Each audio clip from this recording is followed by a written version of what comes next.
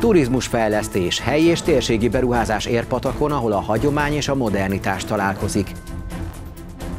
Növekvő betegszám, körülbelül 200 féle olyan vírus van, amely különféle légúti tüneteket okozhat. Makvetéstől a fa felhasználásáig több állomásos tanösvényen ismerkedhettek meg a gyerekek az erdészek munkájával.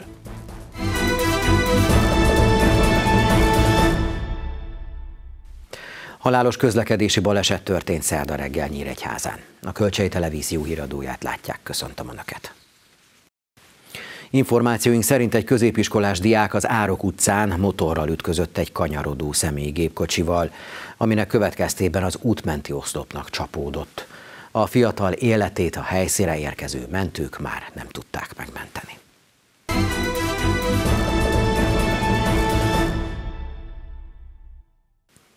Egyre több a beteg, a változékony időjárás miatt a légúti tünetek mellett a krónikus szív- és élrendszeri betegséggel küzdőknél jelentkezhet vérnyomás probléma vagy melkasi panasz. Bár a betegségek elkerülésére biztos megoldás nincs, a legfontosabb, amit tehetünk, az egészséges táplálkozás, az elegendő alvás és a rendszeres testmozgás. Már a sokadik receptet írja ez a házi orvos, hiszen mióta elindult az iskola, extrém mértékben nőtt a betegszám. Komoly járvány nincs, de az őszies idő magával hozta a szezonális vírusokat. Napról napra egyre többen fordulnak orvoshoz. Nálunk például az én háziorvosi körzetemben a napi betegforgalom az ilyen 120-150 környékén mozog, de volt, volt olyan napunk, hogy egy nap alatt 182 beteget kellett ellátni. Nyilván ebben benne van az is, amikor csak az általános szokásos gyógyszereket kell felírni, de egy jelentős százalék az akut ilyen nagyrészt légúti megbetegedéssel érkezett. A változékony időjárás miatt pedig a krónikus szív- és érrendszeri betegségekkel küzdőknél jelentkeznek az olyan tünetek, mint a vérnyomás probléma vagy a melkasi panasz. Emelkedett a covidos fertőzöttek száma is, de emellett körülbelül 200 féle olyan vírus van, amely különféle légúti tüneteket okozhat. Felső légúti megbetegedése, amelyeknek a nagy része, tehát ilyen 80-90 százalék a vírusos, ormelléküreggyulladások, garadgyulladás, légcső, légcsőgyulladások, tehát ezek a szokásos ilyen őszi vírusos megbetegedések, ami a nagy részét kiteszi. Ezek mellett azért valamennyi ilyen enterális fertőzés is előfordult, tehát ilyen hányással, hasmenéssel, hasi fájdalommal járó ilyen vírusos megbetegedés is van. Bár a betegségek elkerülésére százszázalékos megoldás nincs, a legfontosabb, amit tehetünk, az immunrendszer karbantartása.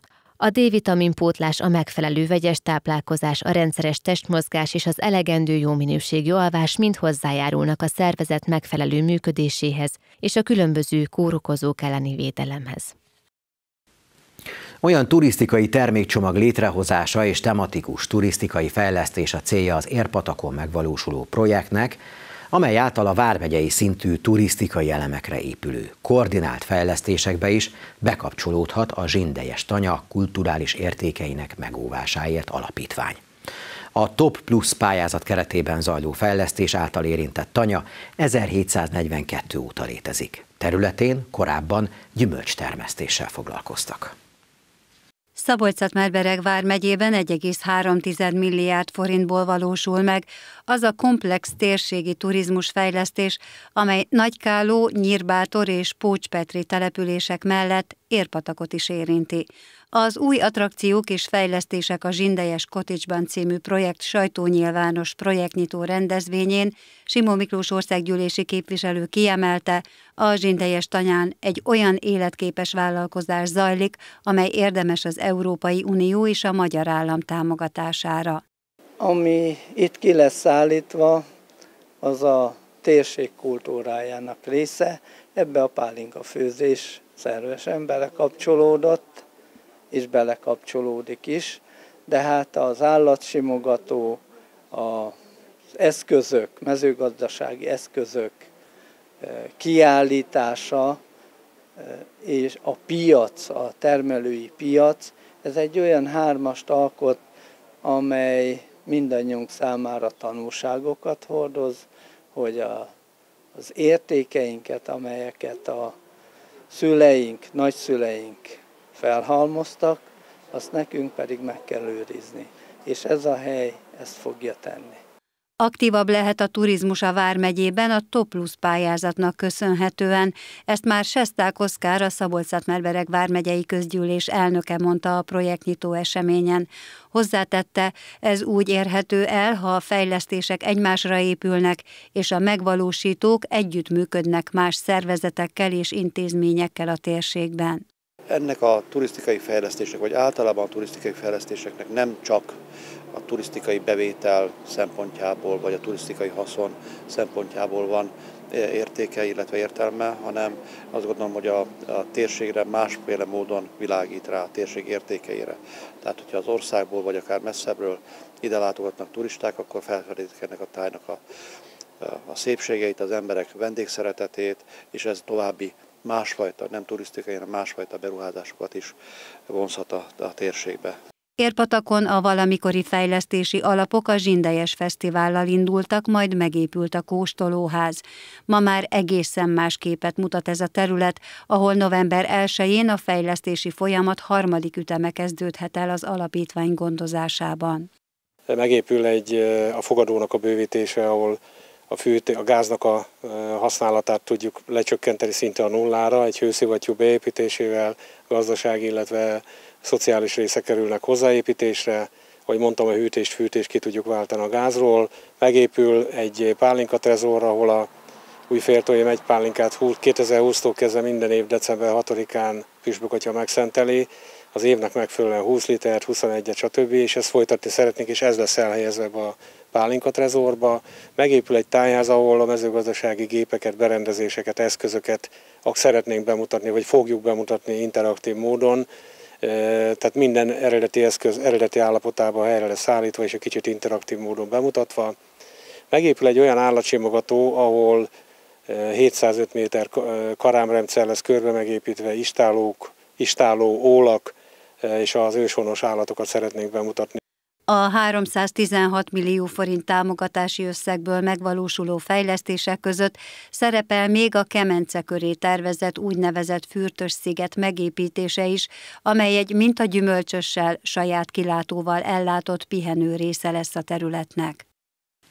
Öt állomásos tanösvényen ismerkedhettek meg a gyerekek az erdészek munkájával a Sóstói erdőben az Erdők hete alkalmából rendezett kétnapos programon. Az állomásokon megtudhatták, hogy melyik fát és hogyan kell kivágni, és a résztvevő 40 csoport minden tagja el is ültethetett egy makkot.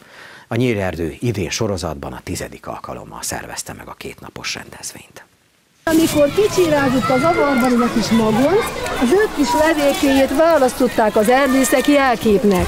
Ha megnézitek, itt a karomon láthattok öt kis tölgyfa ez az erdész csillag. De nem csak itt látjátok, a hátizsákomon, a nadrágomon, még a gombomon, sőt, még az övemen is erdész csillag van, meg itt a táblán is az öt kis levélke, mert ez a megújulásnak a jelképe.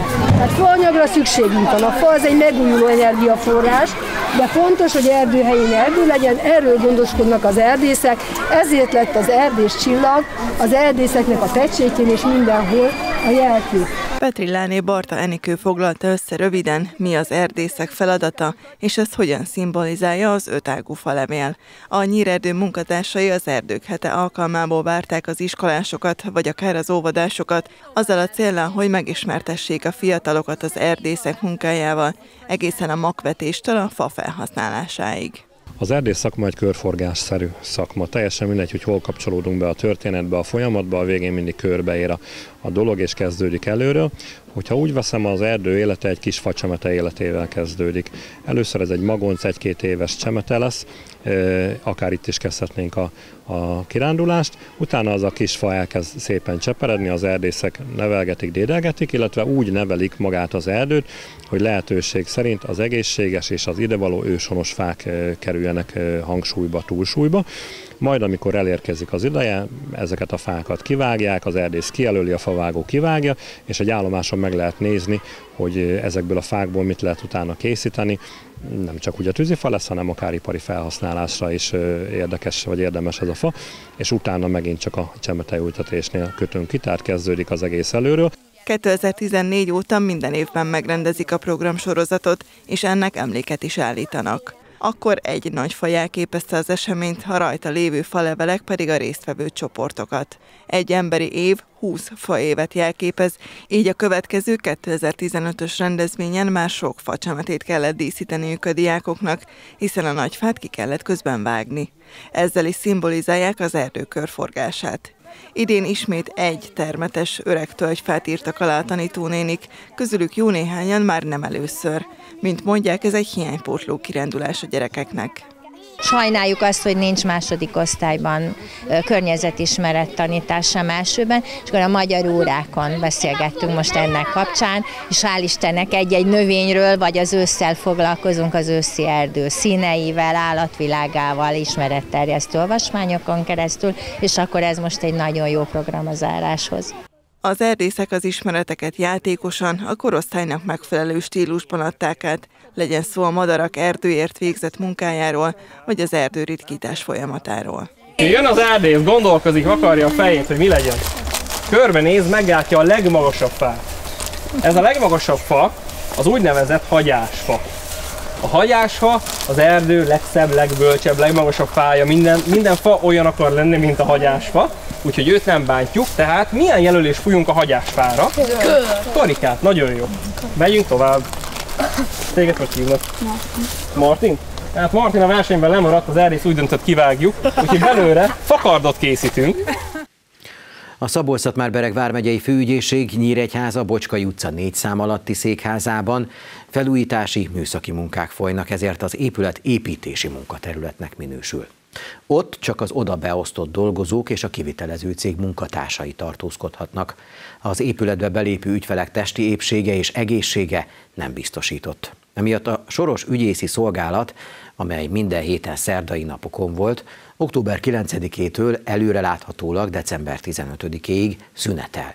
Az ügyfelek írásban, postai úton vagy az épület portáján található gyűjtőládában helyezhetik el kérelmeiket, beadványaikat, vagy e-mailben fordulhatnak az ügyészséghez.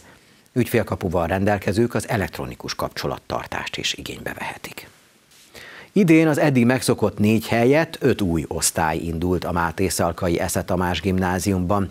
Az avató ünnepségen az iskola elsősei leírták és ládába zárták az elérni kívánt céljaikat, melyekkel majd végzősként szembesülnek. A tanulók fogadalmat tettek, hogy ápolják iskolájuk hagyományait. Fogadom, hogy becsülettel, képességemhez mérten Tisztességgel tanulok. Fogadalomtételt tettek a kilencedikes diákok. A Máté Szalkai Esze Tamás gimnázium új tanulói ünnepélyesen megígérték, hogy öregbítik iskolájuk hírnevét és ápolják hagyományait. Ez egy hivatalos avatás volt, amit most láttak a nézők, megkapták a jelvényüket, amivel ténylegesen ezt is diákkal nyilvánítottuk őket, és innentől kezdve azért azt gondolom, hogy ez kötelezi őket arra, hogy itt tanulnak és, és úgy tanulnak és úgy csinálják a dolgokat, ahogy azt kell. De én nagyon szeretnék egy, egy olyan vicces, vidám avatót is, ezen mi dolgozunk. Az avató ünnepségen az iskola új diákjai leírták és ládába zárták a kitűzött céljaikat. Ezeket majd végzősként a banketten tekinthetik meg. Ekkor látni fogják, hogy hova fejlődtek és milyen utat jártak be az iskola falai között. Az idei szeptember nem csak a kilencedikesek, hanem az idősebb tanulók és tanárok életében is újdonságokat hozott. Óriási változásaink vannak, ami, ami a mobiltelefon használatot illeti, a behozható eszközök eh, listáját illeti, úgyhogy ezt, ez alkalmazkodnunk kell, alkalmazkodunk is, betartjuk a törvényt, mert más nem tehetünk. Azt gondolom, hogy viszonylagosan nyugisan vették a gyerekeink azt, hogy, hogy elvettük, vagy hát le kell adniuk a mobiltelefonjukat, igyekeztünk úgy megoldani, hogy a telefonjaik ne sérüljenek, elzárjuk őket kamerával, figyeljük az átadásnak a színhelyét, úgyhogy minimalizáljuk azt a helyzetet, hogy, hogy valamilyen sérülés történjen. Kicsit még ki kell forni a rendszernek, de azt gondolom, hogy jól fog működni, és meg fogják szokni a gyerekek mindenféleképpen. Bétéri Zoltán elmondta óriási öröm számára, hogy négy helyet idén öt osztályt tudtak indítani. Mindez Máté Szalka városának is elismerést, a jövőben pedig előnyt jelent crossover művészeti találkozót rendeztek a Móri Zsigmond műveiből ismert karakterek főszereplésével Nyíregyházán az Alvégesi Művelődési Házban. Képregény, rajzfilm, diafilm mind-mind készült már a múltban, életre keltve az író által megalkotott történetek szereplőit, mesehőseit. A programon megjelent gyermekek hagyományos és modern alkotási módokat is alkalmaztak saját rajzaik, festményeik elkészítéséhez. A hagyományos képzőművészeti technikákat és a legmodernebb alkotási módokat is kipróbálhatták a gyerekek a crossover művészeti találkozón. A kezdeményezés alapját az irodalom adta, ezen belül is a Móricz Zsigmond műveiben megjelenő történetek és azok szereplői. Arra szeretnénk egy kicsit ráirányítani a figyelmet, hogy az irodalomnak többféle megjelenési formája lehetséges, vagy átdolgozása lehetséges. Tehát, hogy amikor valaki megír egy adott irodalmi művet, valaki más ugyanazt a történetet másképp képzeli el, másképp tudja ábrázolni, bemutatni. És ebből adódik az, hogy ugye Móricz Zsigmondnak a művei azok rendkívül szemléletesek, tehát nagyon jól vizualizálhatóak, elképzelhetőek azok a karakterek, akiket ő, akiket ő leírt, megteremtett, a történetüket elmesélte és ez nagyon sok rajzfilmest, filmest, grafikus megihletett, volt, aki csak egy illusztrációt készített belőle egy adott irodalmi műhöz, volt, aki diafilmre tudta vinni ezt, és leegyszerűsítette a szöveget, volt, aki egy komplet képregényt össze tudott belőle rajzolni, és volt, aki pedig megmozgat és animációs filmet készített. A fiatalok körében nagyon népszerű a digitális technika megjelenése a rajzolás területén is. A szakember szerint ennek előnye és hátránya is van a hagyományos rajzolással szemben. Előnye az mindenképpen az, hogy nem használunk el annyi papírt, tehát én azt gondolom, hogy nagyon környezettudatos is tud lenni maga a digitális rajzolás.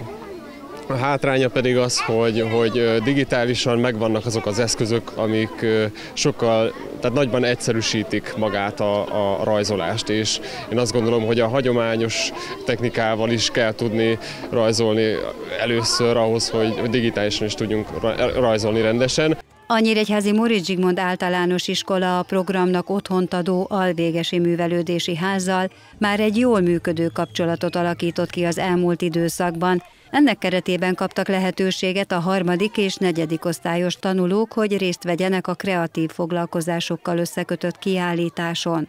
Az iskola névadójáról többféleképpen is megemlékezik. Minden tanévben egy hetet névadónk ünneplésére fordítunk. Móricz hét keretében színes programok segítik a gyerekeket elmélyülni névadónkkal kapcsolatosan. Az elmúlt tanévben is Móricz hét keretében a gyerekek kipróbálhatták ezt a fajta tehetségüket is, és rajzpályázat keretében nagyon szép műveket készítettek. Muri Zsigmond által megalkotott, megformált karakterek voltak a főszereplői a crossover művészeti találkozónak, ahol festőművész is segítette a gyerekeket az alkotásban. Melyik története leveledik most itt meg? Az iciri-piciri ö, ö, látható igazából, ugye a kis barmocskáknak a, az egyik kis képkockája, ahol a Hát ahol a macska keresi a kis elveszett barmocskáit. A művészeti találkozón megjelent gyermekek körében talán épp ez a figura Móricz Zsigmond iciri-piciri meséjének szereplője volt a legnépszerűbb, ezáltal a legtöbbek által megfestett karakter.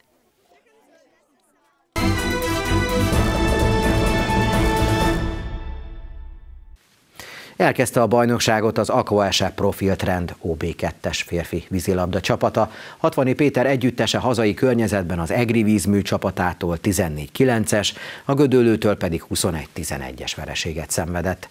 A nyíregyháziak a jövő hét végén Miskolcon játszanak újabb két meccset a két Miskolci együttessel.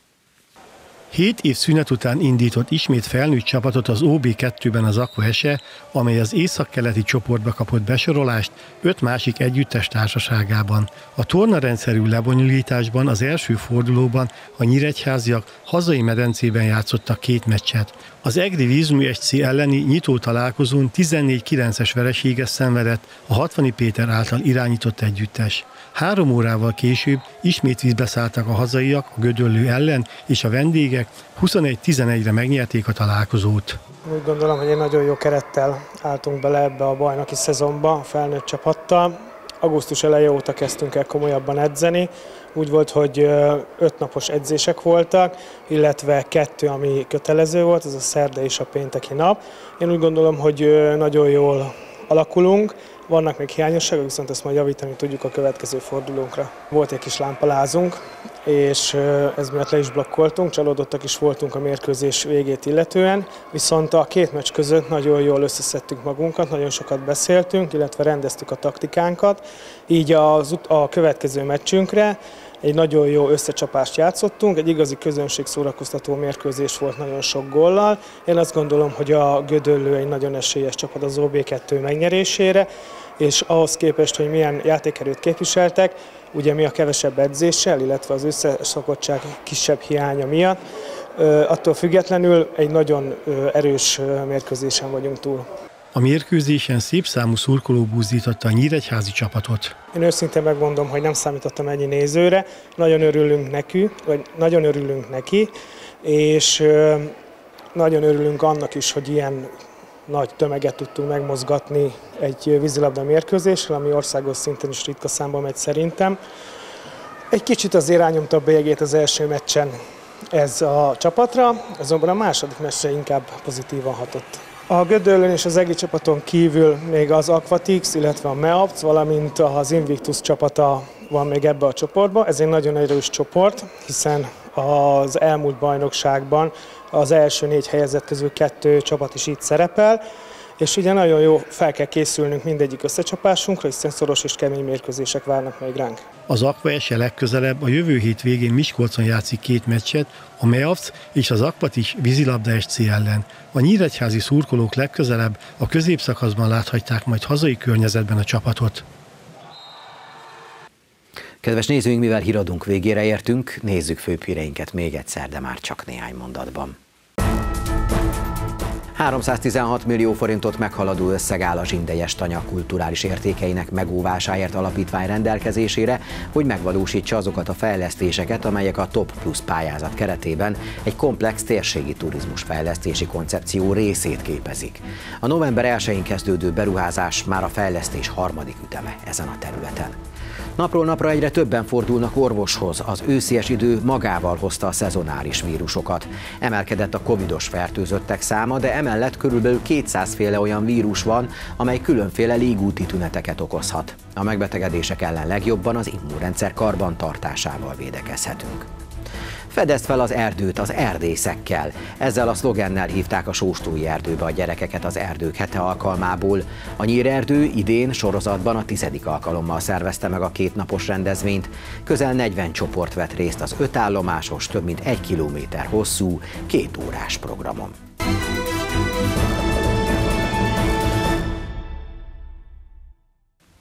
Október másodikán szerdán a Kölcsei Televízió híradóját látták. Friss hírműsorral legközelebb holnap este jelentkezünk, és ne felejtjék, várja önöket a weboldalunk, hogy hogyha lemaradtak volna valamelyik tudósításunkról, akkor ezen keresztül újra megtekinthetik. Én már a munkatársaim nevében is köszönöm figyelmüket, szép estét, viszontlátásra!